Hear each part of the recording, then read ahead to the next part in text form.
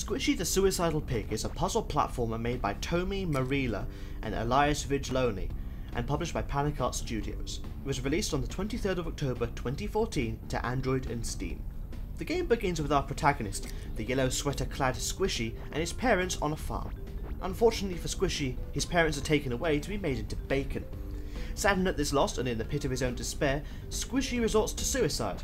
Following the obvious religious subtext you would expect about a game involving a pig killing himself, Squishy meets the devil, because suicide is a sin, presumably, who agrees to send him to heaven if he kills himself approximately 30 times. As you can imagine, the game isn't your everyday puzzle platform. In fact, I'd go so far as to say it has a very curious idea, all things considered. The objective of 30 of the levels is to die, which is pretty easy to do, though it generally involves solving a puzzle of various difficulty. The other 10 levels are a mixture of boss fights and key levels, the latter of which involve you trying not to die in order to retrieve a key in order to progress. Honestly, I don't think these levels are needed, and they do make the game spike in difficulty at these points. Not to mention, the boss fights themselves are pretty hard, so it can feel a little imbalanced.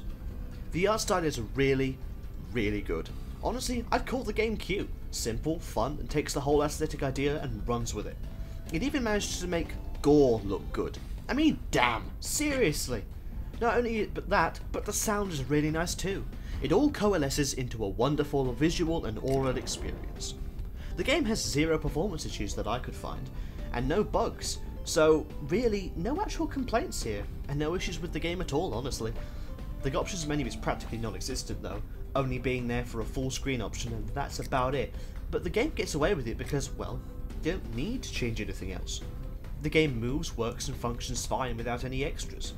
Uh, some people wanted a larger window size or upscaled resolution, but I think part of the charm of the aesthetic is that it's in a smaller sort of state. Even in full screen mode, it looks better as it is. I think trying to upscale the resolution or make it look any different to what it already is might alter that and mess about with it, and that's probably not very a good idea to do.